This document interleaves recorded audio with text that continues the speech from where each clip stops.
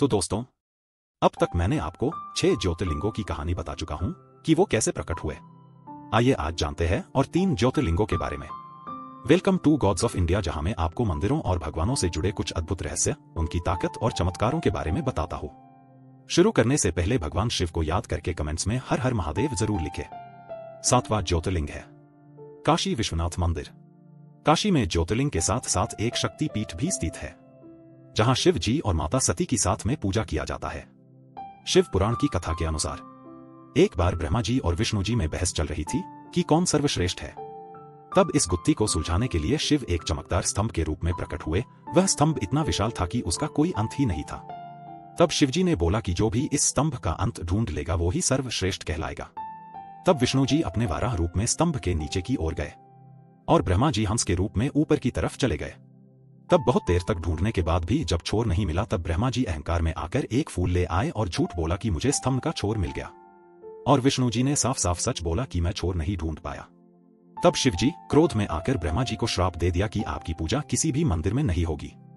और विष्णु जी को वरदान दे दिया कि आपकी पूजा शिव समान से ही होगी। तब माना जाता है कि वो स्तंभ जब धरती पर प्रकाशित हुआ तो वह स्थान विश्वनाथ ज्योतिर्लिंग कहलाया। आठवां है, वैद्यनाथ ज्योतिर्लिंग। झारखंड के देवगढ़ में स्थित इस मंदिर की कहानी बड़ी रोचक है। शिव पुराण के अनुसार, जब रावण शिव जी को प्रसन्न करने के लिए अपने नौ सिरों को भगवान शिव के सामने अर्पण कर चुका था, तब दसवें सिर को अर्पण करने जा ही रहा था कि तभी भगवान शिव रावण के सामने प्रकट हुए और रावण से इच्छा मांगे को कहा। तब रावण ने बोला कि आप मेरे साथ लंका चलिए। तब भगवान शिव मान गए। परंतु बोला कि मेरा अगर यह लिंग लंका से पहले कहीं भी ज़मीन पर रखा गया तो यह शिवलिंग उधर ही रह जाएगा और इसे उठाना असंभव हो जाएगा। और रावण यह बात मानकर लंका के लिए निकल गया शिवलिंग को लेकर। पर जब यह बात सभी देवी देवताओं को पता चली कि शिव जी कैलाश से निकल गए हैं, तब सभी देवताओं ने रावण को रोकने के लिए प्रयास किए। तब विष्णु जी ने जल देवता वरुण को कहा कि तुम रावण के पेट में जाओ ताकि रावण को रुकना पड़े।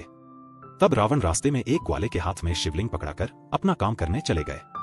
तब बहुत देर इंतज़ार करने के बावजूद जब रावण नहीं आया तब ग्वाले ने शिवलिंग को ज़मीन पर रख वो चला गया।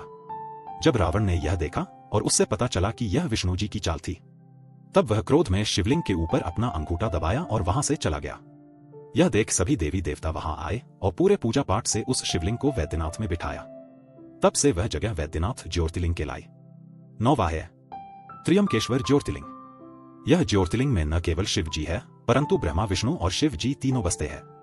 इसकी कहानी बड़ी ही रोचक है दोस्तों। एक बार की बात है, ब्रह्मगिरी में एक ऋषि गौतम बड़े महान ऋषि रहते थे।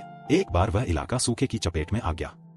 तब ऋषि गौतम ने वरुण देवता जी से तपस्या करके वहाँ एक कभी न खत्म होने वाला जल कुंड ले लिया। और वहाँ के सभी जीव जंतुओं की बड़ी सेवा करी और साथ ही साथ काफ़ी ऋषियों की भी सेवा करी। पर कुछ दिनों बाद बाकी ऋषियों को ऋषि गौतम से जलन होने लगी। और भगवान गणेश से तप करके ऋषि गौतम को नीचा दिखाने को कहा। तब गणेश जी गौ रूप में आए और ऋषि गौतम के सामने खड़े हो गए। तब ऋषि गौतम ने गाय को चारा खिलाया पर चारा खाते ही गौ मर गई और ऋषि गौतम के ऊपर गौ हत्या का आरोप लग गया। तब ऋषि गौतम ने शिवजी का तप किया और कहा कि मुझे इस गौ हत्या के आरोप से मुक्त होने के लिए गंगा स्नान करना है। और शिवजी ने गंगा से विनती कर उन्हें ब्रह्मागिरी पर ले आए। पर गंगा मैया बार बार ब्रह्मागिरी से चली जाती। क्योंकि वह ब्रह्मागिरी में अकेली नहीं जाना चाहती थी, तब गंगा मैया ने शिवजी से कहा कि आप भी ब्रह्मागिरी में लिंग के तौर पर बस जाइए। तब शिवजी ने गंगा जी की बात मानी और वे ब्रह्मागिरी में जा बसे। तब से वह स्थान त्रियामकेश्वर के नाम से जाने जाना लगा। तो कैसी लगी यह कहानियाँ मुझे ज़रूर बताए। धन्यवाद।